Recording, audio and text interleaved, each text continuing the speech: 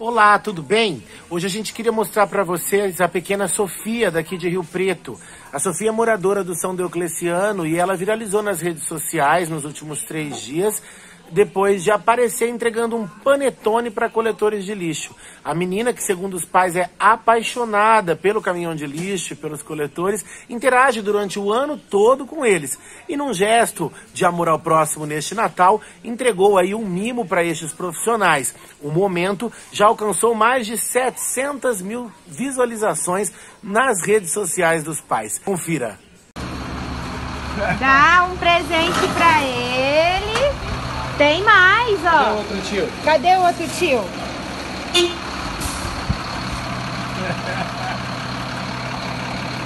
Ela tava mega ansiosa para esse momento. Dá o presente pro tio e pro outro tio ali, ó.